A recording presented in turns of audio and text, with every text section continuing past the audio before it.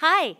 Do you know what I love about this time of year? We all come out of our winter hibernations to tell new stories with our own personal style.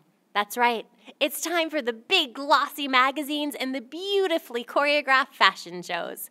Here are some trends that I'm really into. My friends Robert, Judy, and Carlisle did these sketches. Stripes. There are some amazing fashions out there with stripes. My friend Maria has always been a bit nervous about mixing patterns, but I am all about the bold mix of stripes and other patterns this season. Don't be afraid to put it all together. And flowers continue to be a trend, which makes me happy. I'm seeing some amazing and beautiful flower patterns and uses of flowers as a pattern on shoes, on purses. Again, mix it up. The whole boho movement is continuing. Love those long dresses and skirts.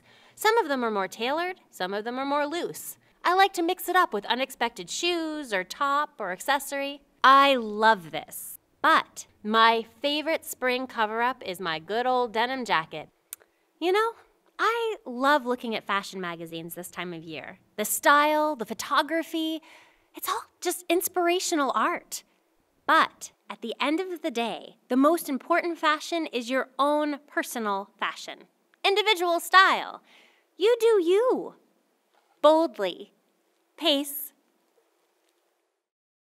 Hey, I'd love to see some of your favorites from the runway. Anything is possible,